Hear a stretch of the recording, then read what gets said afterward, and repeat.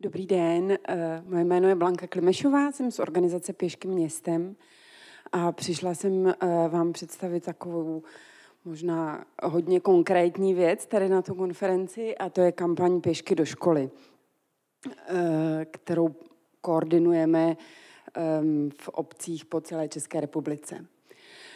Ta kampaň Pěšky do školy vlastně vzešla z našeho jiného dlouhodobého projektu, který se jmenuje Bezpečné cesty do školy, a v tom my pracujeme s celou školní komunitou, snažíme se identifikovat nějaká nebezpečná místa v okolí školy, která mm, mm, vlastně dětem dělají problémy na cestách do školy a pro tahle místa potom navrhujeme konkrétní změny té dopravní infrastruktury. Vznikne celá dopravní studie a je to takový jako dlouhý proces, kdy my uh, děláme dotazníkové šetření s dětmi, s rodiči a potom to projednáváme s městskou částí, s magistrátem, který eh, ten projekt financuje a eh, s technickou zprávou komunikací a s různými jinými institucemi, které vlastně se podílí na tom, eh, na tom konkrétním stavebním opatření, které v okolí těch škol se dělá. Jak možná tušíte, tak celý tady ten projekt je jako velmi, velmi dlouhý a málo kdy ty děti, které se účastní toho vlastního projektu, se dočkají um, vlastně těch opatření v okolí té své školy ještě v době, kdy tam jsou žáci. Takže jsme chtěli vlastně přijít s něčím, co je takový jako rychlý, efektivní a co ale zároveň taky může jako měnit to okolí těch škol. Protože eh, kromě těch jako fyzických změn toho stavebního uspořádání je strašně důležitý pracovat s motivací a s osvětou a vlastně ty věci nefungují jedna bez druhý. A proto na základě i nějaké jako zahraniční inspirace jsme přišli s tady tou kampaní Pěšky do školy, která je úplně jako soft opatření, e, nic se nestaví, nic se nikde jako nebuduje, jenom e, se pracuje vlastně s tou osvětou, motivací, edukací a s e, nějakými jako e, těmi jednoduchými procesy. A má to vlastně úplně ale podobný efekt, jako když fyzicky změníte tu infrastrukturu, že vlastně i, ten, eh, i ta změna toho dopravního chování má vlastně tu moc změnit eh, to město, v kterém žijeme.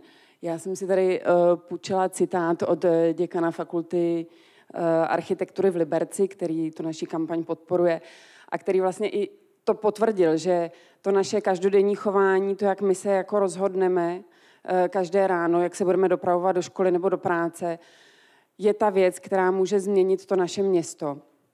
A tohle my se snažíme předat vlastně dětem skrze školy, aby eh, si uvědomili, že jako i oni mají v, rukách vlastně to svoje město a můžou ho měnit a mají ten, uh, mají ten nástroj, jak se podílet na tom, jak bude vypadat město, v kterém žijí. tak eh, proč vlastně je důležité dětem představovat, že by měli chodit pěšky? My si myslíme, že to jsou čtyři oblasti, v kterých ta pěší doprava je prospěšná a v kterých má nezastupitelnou uh, úlohu. Jednak je to zvýšení právě bezpečí v okolí těch škol. Uh, děti jsou jedním z nejzranitel, jedními z nejzranitelnějších účastníků dopravního provozu, tvoří asi 20% obětí dopravních nehod. A Eh, ale zároveň vlastně ta odpovědnost, eh, není možné házet tu odpovědnost jenom na děti. Není možné říct, tak děti se pohybují po ulicích, tak jim řekneme, jak se mají chovat a, a naučíme je nosit ty reflexní vestičky a dobře se rozlížet a čekat na přechodech. Že vlastně ta odpovědnost za to bezpečné okolí míst, kde se pohybuje hodně dětí, je úplně stejnou měrou, jako leží na těch řidičích a na těch dospělých, kteří se tam pohybují. A je potřeba to připomínat vlastně i té, i té dospělé a rodičovské populaci, že v okolí škol je nutné dodržovat zvýšenou opatrnost, zvýšenou bezpečnost.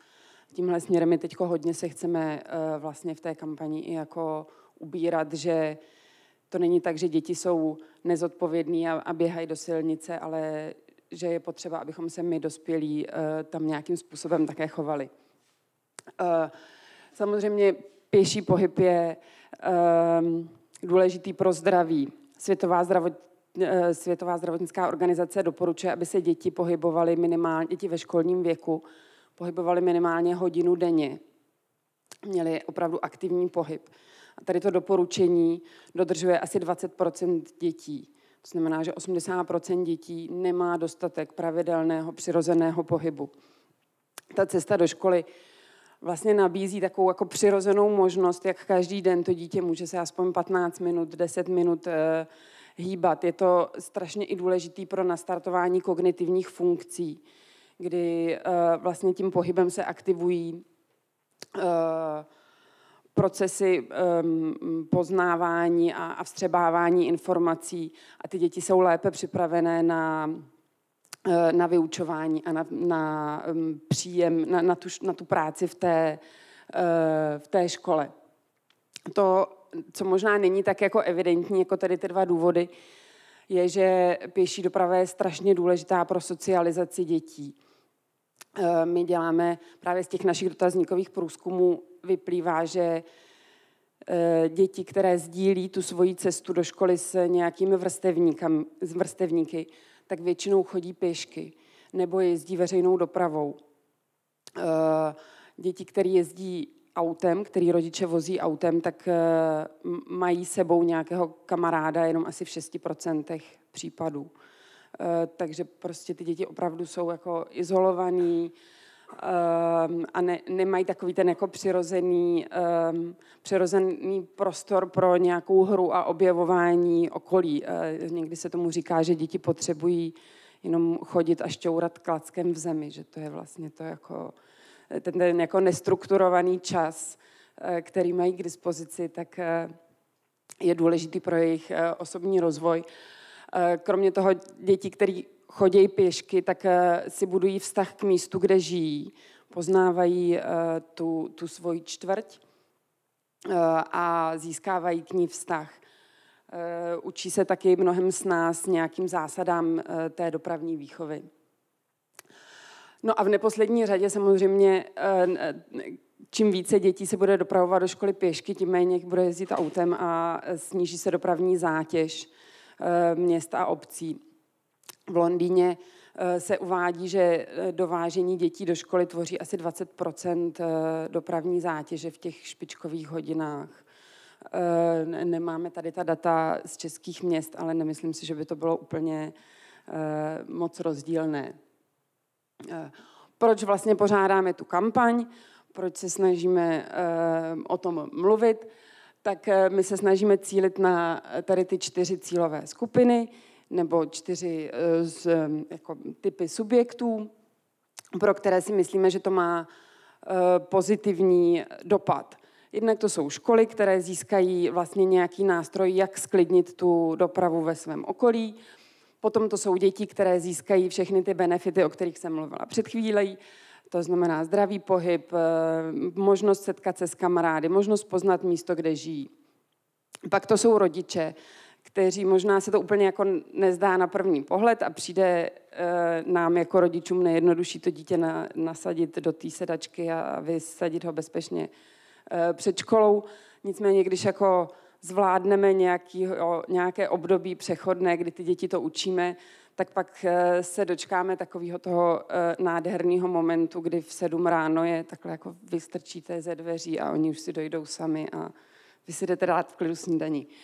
A Eh, je to samozřejmě benefit je pro obce, které ehm, kromě toho, že, že působí na ty své obyvatele, tak eh, my třeba jim poskytujeme různé eh, jako datové zdroje, to znamená, kolik dětí do té školy se dopravuje, jakým způsobem, jakým způsobem ta kampaň to jako ovlivnila nebo neovlivnila.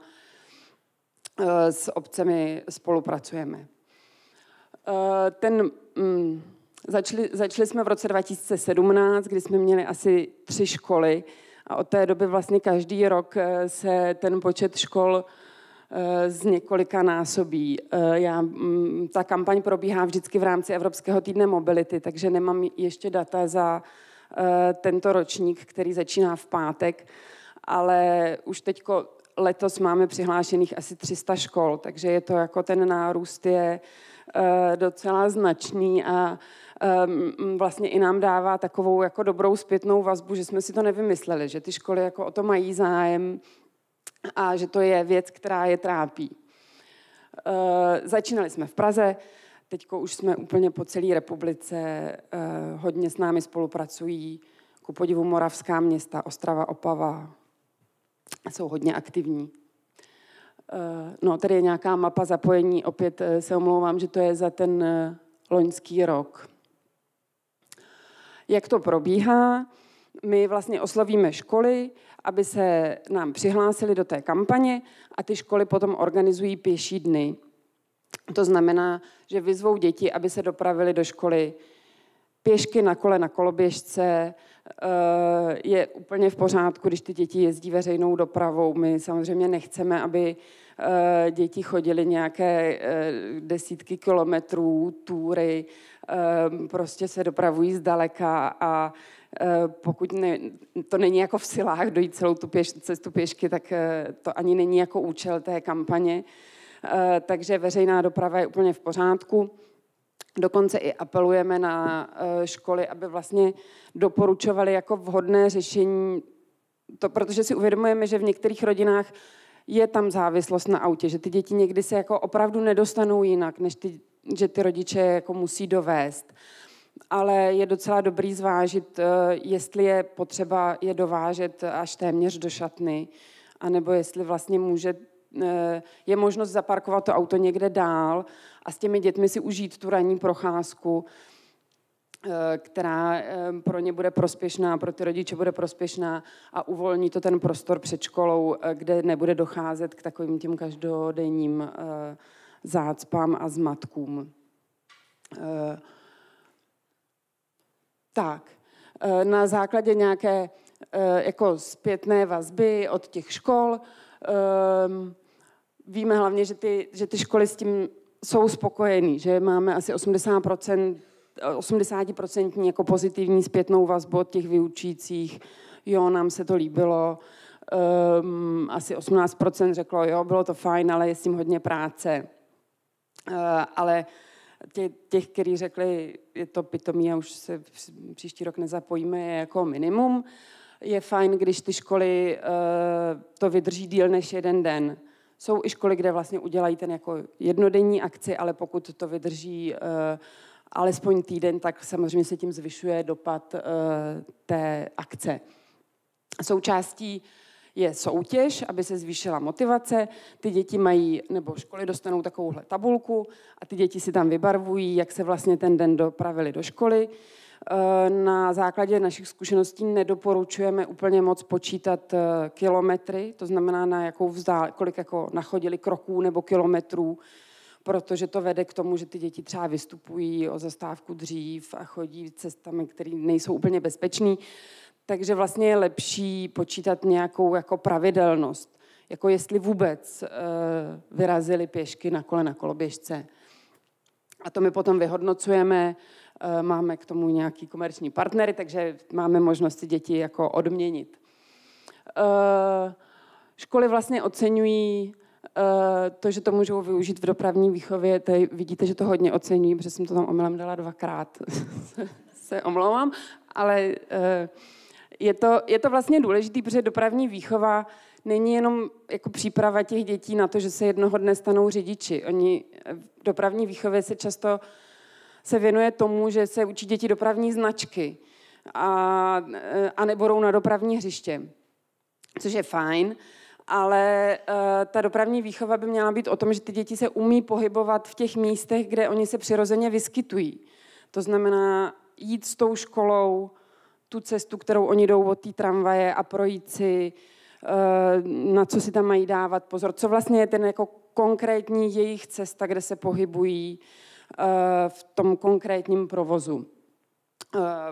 Potom školy oceňují spoustu těch dalších věcí, které tam jsou napsané a ta kampaň odpovídá cílům SDGS. Tady jsou jenom taková rychlá uh, ukázka, že ta kampaň nemusí být úplně jenom zátěž pro tu školu navíc, ale že může být jako obohacením toho vzdělávacího programu a dá se zapojit do různých předmětů, od nějaký vlastivědy, geografie, přes samozřejmě výtvarnou výchovu, ale i výuka jazyků. Ty děti docela často píšou třeba slohy do češtiny eh, a, a tak. No a teď důležitá otázka je, co potom? Co vlastně se stane po skončení té kampaně? My máme jako velkou radost, že jsou školy, které si díky té kampani vyzkoušely v pilotním režimu nějaká opatření, která jim pomohou uh, udělat okolí školy bezpečnější a, a tím pádem jako um, ne donutit, ale přesvědčit víc dětí že to a rodičů, že můžou do té školy vyrazit pěšky a že to je fajn. Eh, že může dojít eh, díky tomu k identifikaci taky těch nebezpečných míst, iniciaci nějakého jednání se samozprávami, o tom, co s tím budou dělat, jestli eh, to jde vyřešit nějakým dočasným opatřením. Často pomůže, když se mm, změní dopravní značení, když se udělají jednosměrky. Samozřejmě mm, ideální je, pokud se to podaří vyřešit nějak stavebně, novým přechodem. Eh, no, novým ehm, vlastně prostorem před tou školou.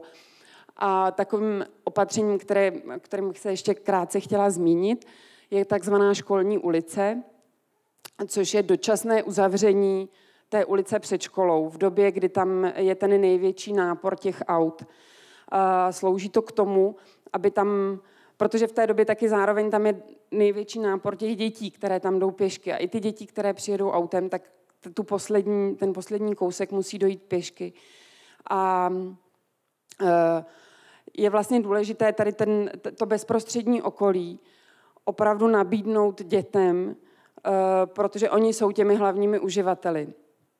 E, my jsme to třeba zkoušeli tady v ulici na Dlouhém Lánu, kde to funguje od dubna, mají s tím dobrou zkušenost. Funguje to v Praze 6 u základní školy Haunspalka, Eh, jsou to zatím takové pilotní projekty a například v Paříži je těch školních ulic 160, z toho jich jenom 140 vzniklo za poslední dva roky.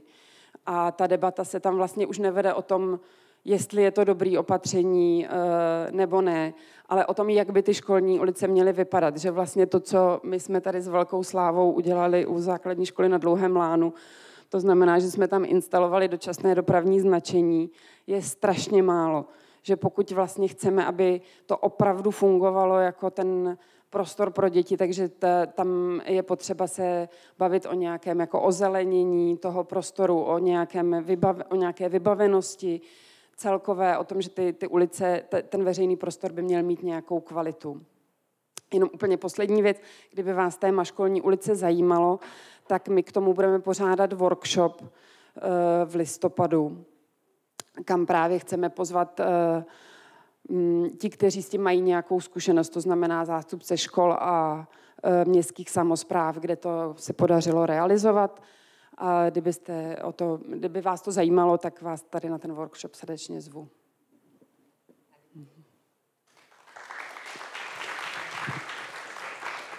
Děkuji moc krát. Poprosím paní kolegyně, aby ještě zůstala, protože tam máme přehršel dotazů. Bohužel nemáme čas eh, zodpovědět všechny, tak zkusíme aspoň jeden, dva. Ve Švýcarsku musí děti chodit do školy sami od první třídy. Když to nezvládnou, tak nejsou zralé pro školní docházku. Je to jen tím, že tam je hustší síť škol? Hmm? To úplně neumím, eh, neumím na to odpovědět. Eh, nejsem si ani jistá, jestli první třída je ten jako správný věk, kdyby děti měly chodit sami. Eh, upřímně řečeno mám trošku pocit, že to je jako brzost. Samozřejmě to hrozně záleží na každém tom dítěti. Většinou se uvádí, že tak zhruba okolo 10. 11. roku jsou děti připravené na to vlastně vyhodnotit samostatně tu situaci. To znamená, jak rychle se blíží to auto, jestli to stihnou přejít, jestli to nestihnou přejít.